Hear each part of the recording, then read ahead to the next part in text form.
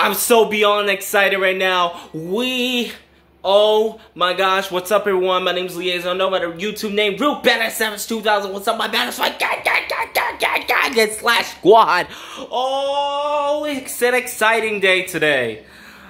We have got a new president and a new vice president in the White House. Joe Biden is our new, new president and the vice president Kamala Harris. You are new president of the United States, Joe Biden, and vice president Kamala Harris. And she is the first woman vice president ever to be in a White House. This is amazing. I'm so happy that Trump is out of office. Thank you. Thank you. Take your fucking family and fuck off. Take your family and fuck off, Trump. Thank you. And your fucking son, too. Your fucking son, Donald Trump Jr. I want to punch him in his face. Punch him in his fucking head. Punch that motherfucker in his head. But anyways, I am so happy Joe Biden has won this election. He's won, basically, he has 284.